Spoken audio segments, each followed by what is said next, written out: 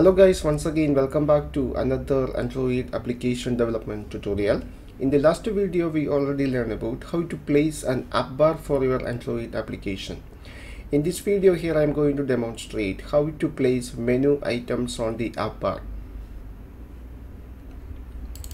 So here is a simple example. So on this app bar uh, there are some menu options are available and here uh, there is one overflow icon is also available. So now here I am going to show you how to add the menu items into the app bar. So first thing we have to add some icon into our Android Studio project. So we have to download some icons. So open your browser and search for Android material icons. Uh, from this website you can download needed icons for your application. So here I need only one icon. It's a share icon. So here is the share icon. Select that one. So in our application we have a dark action bar. So we need some white icons. So select the white option and change the quality. Now download this one into png format. Now open the download folder extract that icon.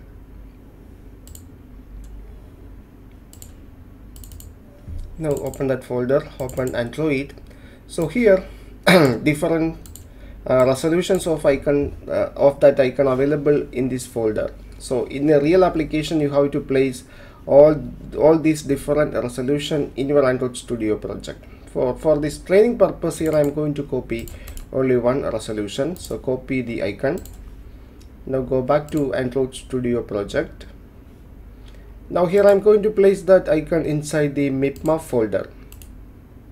So paste it inside mipmap folder select the hdpi option and click ok. So here i'm going to modify the icon name into icshare.png okay now the icon available inside the mipmap folder so now we can create the menu for the application bar. So you have to create the menu in the form of an xml file? So uh, right click the uh, resource folder and create a new android resource file. So here i specify the file name as app bar menu. So here the resource type is menu. So select menu option and click OK. So now a new XML file is created. So inside the resource folder, uh, there is a menu folder is also created and this is the XML file that represents menu for the app bar. Now go to the XML version. So now we can add the menu item into this XML file. So here the root element is a menu. So here we need one more XML namespace. So I copy this XML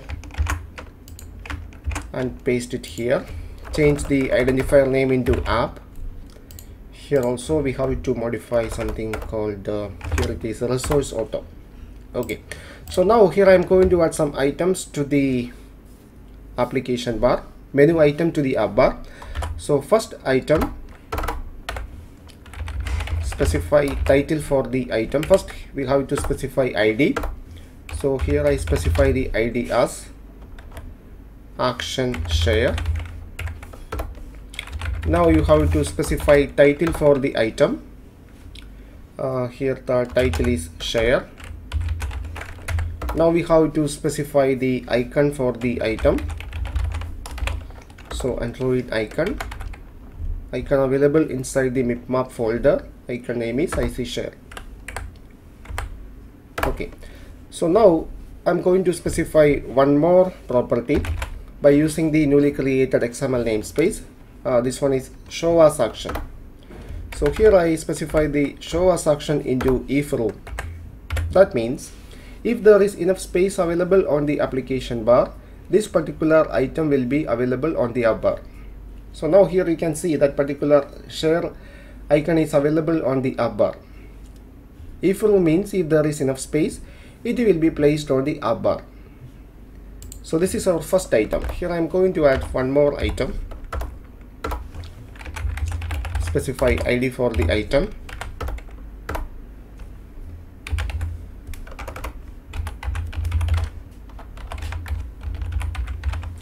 I specify the ID as action settings. Now specify the title. Here the title is settings now here I specify the show as action into never that means this particular the second item is not is not directly available on the app bar. Instead this item will be hide uh, behind the overflow menu. So in this example here we have an overflow icon is available. If you specify the show as action into never that particular item is available inside the overflow menu so this is our menu for the app bar so now the menu xml file is ready. Now we need to add this menu to the application bar. For that go to main activity. So for adding the menu for the action bar you have to override a method called on create options menu.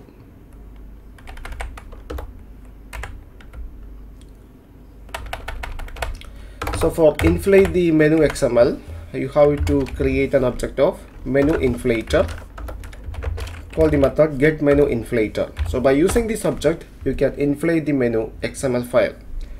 So by using that object menu inflater call the method called inflate. So this method need two parameter. First one is the menu xml resource and second one is a menu object. So here the menu xml resources R dot menu dot app bar menu.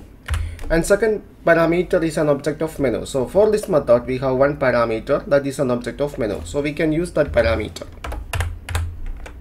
Okay so here we successfully inflate the menu. So if you inflate your own menu you have to return true from this method. Okay so now we can run the application.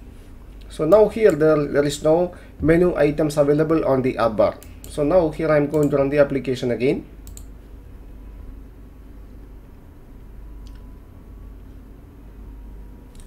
so now here we have uh, one menu item directly available on the app bar. That is the share option.